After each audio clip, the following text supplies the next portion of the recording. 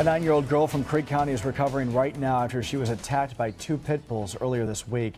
Thank you for staying with us. I'm Brian Dorman. I'm Ashley Izbicki. Deputies say the dog's owner is being allowed to keep them at home. News on 6's Kristen Weaver spoke to the girl and her mom who stopped the attack. Kristen?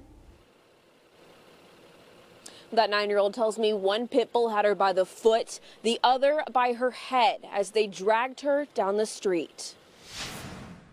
Nine year old Lily Davidson loves exploring, playing with her friends, playing basketball, and fourth grade. She got off the bus like usual at her Kellyville bus stop near South 179th West Avenue and Graceland Road Monday. Once I got off the bus, I was walking by their mailbox and I could not see the dogs because they were hiding behind something. Out of nowhere, two pit bulls ran up to her. And I thought they were playing because they were sort of like nibbling at my ankles. But one knocked her down. The dogs cut and bit her ankle, and she scratched her hands, face, and head as the dogs dragged her down the street. I got off here, walked over there, and then they found me and dragged me from there to over there where she was standing. That's Lily's mom, Donna. She was waiting for Lily at a neighbor's house when she heard the barking and ran to help. One had her by the back of the head, the other one had her by the foot.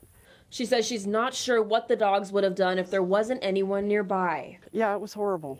It was a nightmare. An ambulance took Lily away. I was thinking, well, that hurts. It scared me. Creek County deputies say the two dogs are a woman's pets. He says Creek County doesn't have a leash law, but urges pet owners to be mindful. Even though your dogs may be really kind and gentle to you, uh, you know, how are they going to react around small children? That dog owner has to keep those dogs in quarantine. She has 10 days to provide records to deputies showing that they've had their shots. Lily is recovering well. Live in Sapulpa, Kristen Weaver, Oklahoma's Own, News on 6.